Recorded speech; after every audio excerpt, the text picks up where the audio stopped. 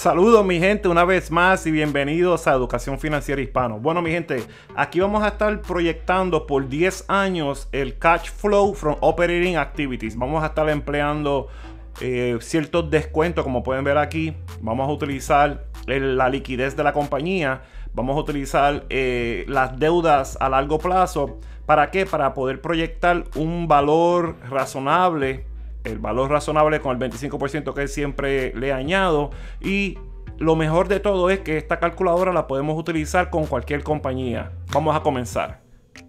De primera instancia se ve un poco intimidante, ¿verdad? Pero a propósito puse los rectángulos de color amarillo. ¿Por qué? Porque aquí es donde único vamos a estar poniendo la, la información, los números que estamos buscando. Es bien sencillo. Primer paso es ir a Google, obviamente. Vamos a Yahoo Finance. Y de aquí vamos a obtener ciertos números. Ponemos el ticket que es el FL. Es la compañía que estamos haciendo porque eh, desde el principio de la serie esta fue la primera compañía que comenzamos. Debido al aumento en casos de coronavirus aquí en los Estados Unidos, tenemos varios estados que están reportando aumentos en casos el mercado de valores eh, es bien emocional. Eh, cualquier noticia impacta el valor de los activos positivamente o negativamente. En este caso podemos ver que fue un impacto negativo, pero podemos tomar ventaja porque los activos van a bajar de su precio, de su valor razonable. Miren, ayer este activo tenía cerró básicamente con un valor de 29 dólares con 35 centavos. Hoy cerró con un valor de 27 dólares con 10 centavos. Luego de las horas, aquí dice after hours, eso quiere decir después que el mercado cerró, el activo tiene ahora un valor de 27 dólares con 30 centavos, que básicamente aumentó 0.74%. De aquí vamos a estar utilizando el beta. Beta lo que quiere decir es básicamente en palabras sencillas, es una herramienta que mide cuán volátil es el activo. Cuando un activo tiene un número mayor de 1 es más volátil, el precio va a bajar o a subir bien drásticamente. Cuando el número es menor de 1, el impacto del valor es mínimo del activo. Vamos a buscar ahora el descuento, 1.33. Ese es el número que vamos a estar utilizando. Buscamos en esta tabla, aquí dice 1.31 al 1.40. eso equivale a un descuento de 8%. Vamos a poner el descuento aquí, en la área de beta, ¿ves? Discount rate, ponemos el 8% y rápidamente se va a generar el descuento. Mírenlo aquí. ¡Pum! Ahora vamos a buscar el, número en millones de qué? De el cash flow from operations. Este es básicamente el dinero que la compañía recibe por medio de sus operaciones. Es bien sencillo de localizar. Volvemos a Yahoo Finance nos vamos a las finanzas, nos vamos al cash flow, porque eso es lo que estamos buscando, y vamos a utilizar este, el de el 131-2020, y el número es el 696.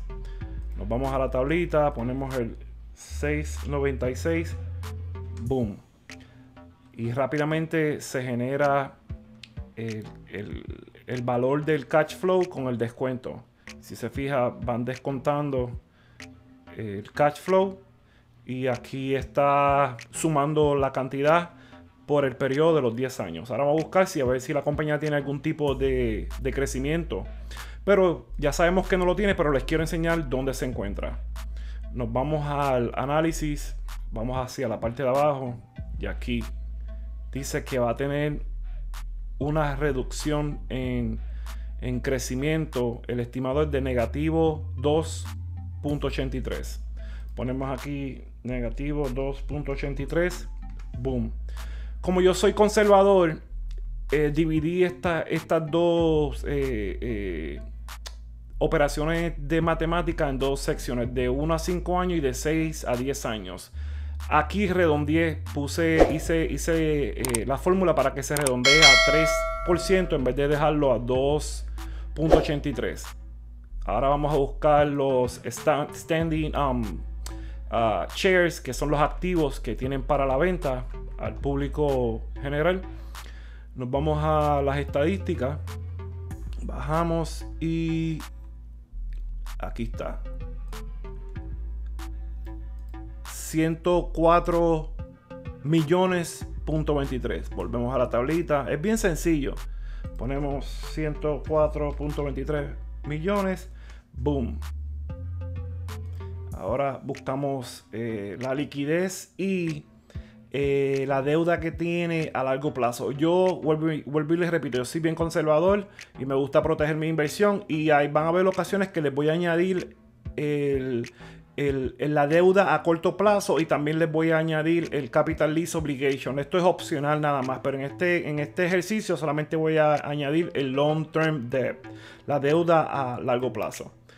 Vamos aquí, vamos a las finanzas. Nos vamos al balance, porque en el balance es donde está todo eso. Expandimos, boom. Miren, aquí dice que ellos tienen una liquidez de 907 millones. Ponemos aquí 907 millones. Y aquí vamos a buscar el long term de la deuda a largo plazo. Y está aquí. Fíjese en este número, dice 122. 122 millones. Automáticamente cuando yo ponga esto va a generar el valor razonable del activo. Fíjense. Boom. Está reflejando de que el valor del activo es el valor razonable debería ser de 46 dólares con 62 centavos añadiéndole el 25%, porque siempre los activos suben, van a subir, no, nunca se van a mantener en el valor razonable. Pues el activo tiene un valor razonable de 58 dólares con 27 centavos. Pero esto aplica si la compañía no hubiese incurrido en obligaciones o en deudas a largo plazo. Eh, les voy a explicar a lo que me refiero. Todas las compañías, todas han incurrido a cargar sus deudas, a subir sus deudas dramáticamente por la pausa que hubo en la economía, que tuvieron que cerrar y todas entraron en deudas, básicamente. Les voy a enseñar a lo que me refiero y van a ver cómo los números cambian ahora. Voy a comenzar anotando los números de el dinero en efectivo que ellos tienen, que son 907 millones, 122 millones en deudas a largo plazo. Borramos aquí para utilizar unos más precisos. Voy a utilizar Fidelity, me gusta este broker. Estamos utilizando el reporte que fue el anual de, miren lo que dice, reportaron 913 millones en efectivo y miren aquí, deuda a largo plazo de 2 .8 billones. Pero si queremos ser más precisos, vámonos al, trimestre. Esto fue en abril, el último reporte. Y reportaron, en vez de 913, subió. Ahora es 1.19 billones en dinero en efectivo. Y en deudas a largo plazo, ahora es de 2.7. La pudieron reducir en vez de 2.8. Ahora es 2.7 billones. Ponemos aquí la nueva cantidad y genera números rápidamente. Me encanta esta calculadora. Vamos a hacer aún más preciso. Vamos a poner el precio actual con el que cerró el activo. Ahora es de 27 dólares con 30 centavos. Cambiamos aquí. 27 dólares con 30 centavos. Boom. Ahora mismo el valor eh, actual está un 20% por encima del valor razonable de 22 dólares con 84 centavos. Pero está por debajo del valor razonable más el 25% que sería de 28 dólares con 56 centavos. Comparándolo con el valor actual. Miren, si la compañía paga, vamos a poner la mitad, vamos a poner que no vamos a ser tan exactos, vamos a, a decir que solamente van a deber un billón de dólares el valor del activo va a ser de 39 dólares con 27 centavos. Este es el valor razonable. Y el valor razonable con un 25% por encima sería de 49 dólares con 9 centavos. Si invertimos ahora en la actualidad con el precio que tiene. ¿Qué está sucediendo? Debido a la pandemia del coronavirus, el mercado está bien volátil, que sube y baja, sube y baja, sube y baja y se va a mantener así hasta el final del año, posiblemente hasta que por fin, si Dios quiere, tenemos una vacuna o podemos eh, suprimir este, este, este, esta pandemia, si la pueden eh, poner en control.